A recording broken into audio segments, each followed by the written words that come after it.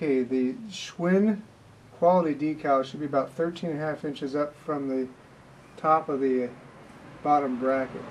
We've been letting it sit for, for, a, we have to let it sit for about three minutes, it says. Let's see. We've gone. We got a minute to go on the decal. Okay.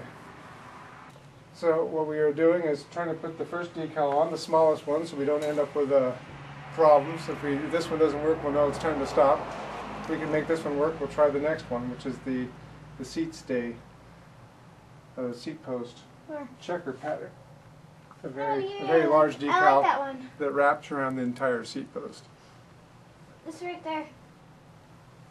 It sits about right there on the bike. Okay. So now we're going to take the decal that's been sitting for, for about three minutes and we're going to slide it off just like the instructions say. Let me get let me get zoomed in on that. Cool.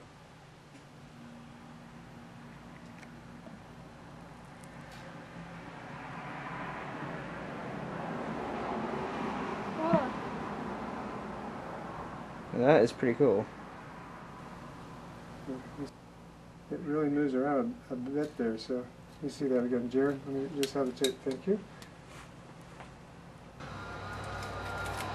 Okay, I can't tell if it's dead center, but it looks pretty. What do we think? So I'm going to take a brush and use the brush to wipe out any extra air bubbles. Looks going from the pretty- center out. The Yeah, it decal looks is actually actually pretty good.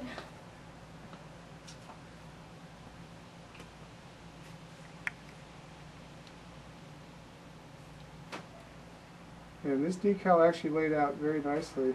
So now I'm going to stand up and look at it, make sure it's close to centered.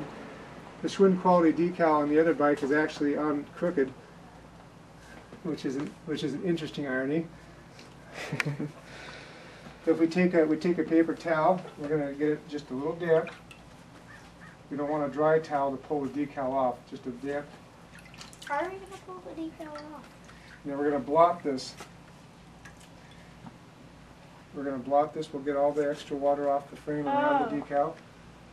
We want we don't want to move the decal, so we have to be very careful not to. I know why we don't want to move the decal because we're gonna get that. It looked like that the, the paintbrush actually helped work some of the water out. You got to be very careful not to overbrush that.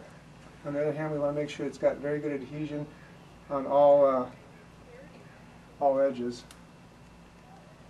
Looks good. Okay. I think we got it. I think it's. Back it's out and check it out. Quality Schwinn